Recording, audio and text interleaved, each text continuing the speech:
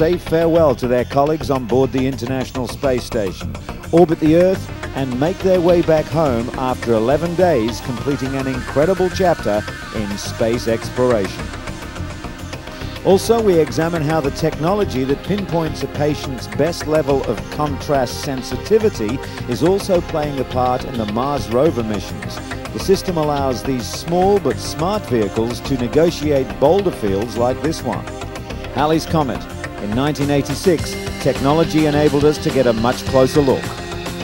American millionaire Dennis Tito and two Russian cosmonauts arrive at the Baikonur Space Center in Kazakhstan. While the world's first space tourist was exploring the Space Museum, an international furore was raging around him.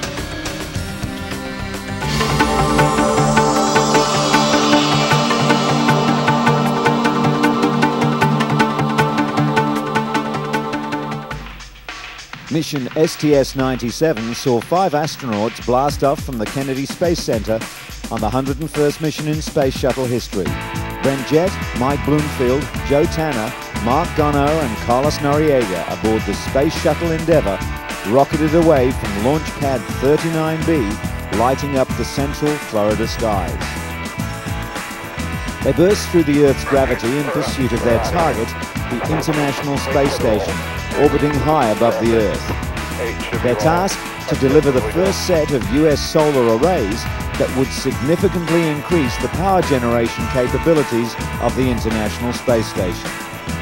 After more than 24 hours in space, Endeavour had the space station in her sights, and the intricate procedure for the docking of the two spacecraft had begun.